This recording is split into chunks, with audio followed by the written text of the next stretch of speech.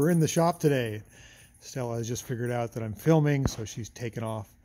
And look at this little parade of microcars that I have with me. What a blessing.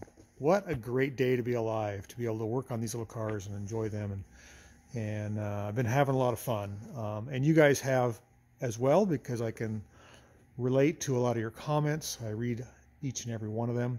And I know that some people are sick of Subaru 360 videos haven't done a lot of videos on this BMW Isetta that I'm working on. It's very colorful, it's very cute, and it's getting some work done now, so you'll probably see a few videos, videos on that in the future. But although these cars are all really cute and fun and part of my livelihood, we've got something else I want to show you today. Something, something, how do I say, a sentimental attachment uh, end of an era, uh, end of a good time. Stella's out here gazing lovingly at our 1988 S10 pickup, which has been with me for a long time, and it's sadly, uh, and maybe not so sadly, going to a new owner. So just having the truck around has been weird. Uh, people make offers on it um, quite often, and I succumbed recently to one of my customers I think she's really going to like it. She's a gardener and um, she's going to take good care of it. She's got really good karma. This truck has been with me since 1994. I picked it up in the Thrifties ad of the Oregonian newspaper. That's how long ago it was before the internet. And you can see it's beat up a little bit. It's got a bent bumper, the parts missing out of the grill. It has a dent on every panel. And I've done a few videos on it and this summer I really needed it and I thought about it a lot and I did the two-tone paint job and did different sets of wheels and tires. First I bought a set of Cragars, then a set of slots, and now the white walls. And it's going to go to the new owners with the white walls. They're brand new. I have 10 miles on them. Truck's been good to me and my family over the years. Like I said, I got it in 1994 from a rice wholesaler in Northwest Portland, um, an Asian man. He had bought it brand new. It still has the Wentworth Chevrolet. You can see the paper tags. I don't know if you can see those or not. There's paper tags beneath the license plates that say Wentworth Chevrolet, which the frame used to say that as well, um, which is still in business, and that's pretty cool. Um, it has 194,000 miles on it. It is a automatic with a V6 2.8 liter short bed. And uh, it's it's had a bit of a rough life. When I got it the engine had froze. In other words cracked the intake and the radiator was split and the windshield was completely smashed. And I, like I said I got it out of Thrifties. I fixed that stuff up fixed the engine up gave it to my mom. While I was rebuilding her Volvo uh, engine took me a couple years so she drove this uh, for her teaching job back and forth for many, she commuted back and forth many, many years. And then she gave it back to me. And then my brothers, they wrecked it. They left the door open.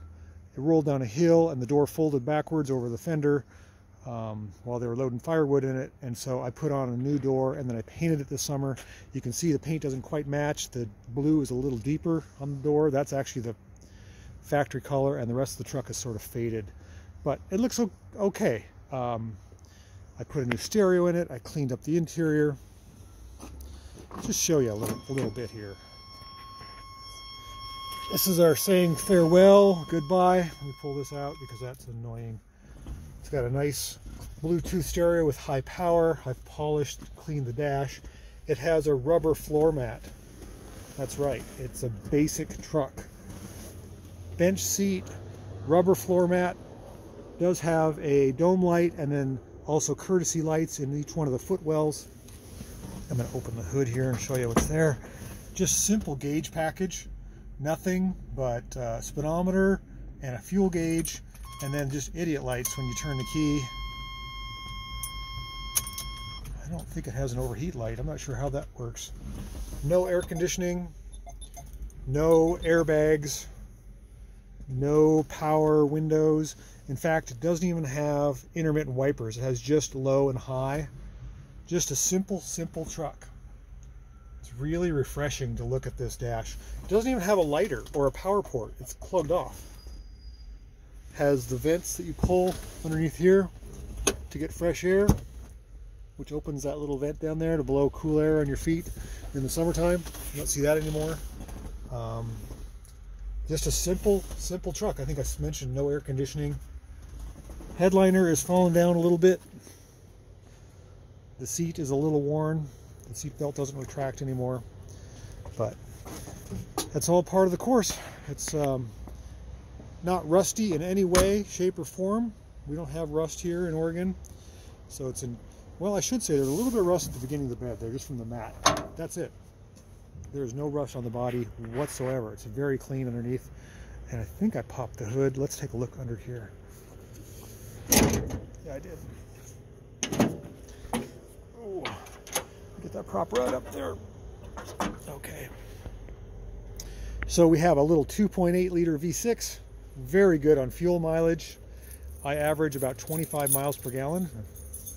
I don't hot rod it at all but it's got a, a 700 R4 or 200 R4. I think it's a 200 R4 transmission.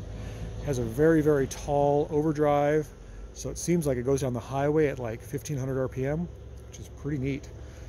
Um, just gets excellent mileage and um, has a little bit of zip too. It's just very smooth because it's a six cylinder. You can see it does have power brakes. Just a basic heater, simple alternator, does have power steering, and um, just really, really, really, really bare bones. I think it has an air pump. Yep, still has original Kelly converter, original exhaust system, spare tires up underneath the, the bed. But this is sort of a sad day in a sense. It's farewell for this little guy. It's been with me a long time. It's helped me move many times and move a lot of household goods, washers, dryers, junk runs, scrap metal. Stella loves riding in it it's been a great old truck and um, it's going down the road. It uh, is in the best shape that it's ever been in. It's all tuned up. All the fluids are changed and I wish the new owner well. So this is it.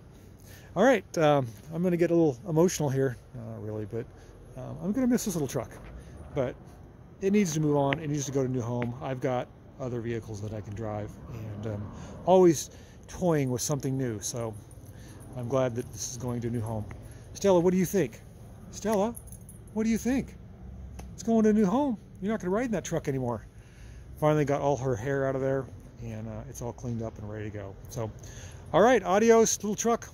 We'll see you in the next life. I'm sure I'll probably service you at some point, so we'll stay in touch. Thanks for watching. We'll see you on the next video.